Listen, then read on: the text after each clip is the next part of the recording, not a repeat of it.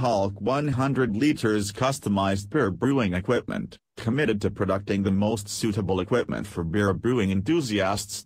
From left to right, mash, lauter pot, two sets pump, PID control cabinet and kettle slash whirlpool pot. The kettle, whirlpool pot not only has the rotary sinking incision which is beneficial to the work whirlpool, but also has the sampling port designed by the customer. The piping and details are based on the customer's ideas, using three-way food sanitary ball valves connection.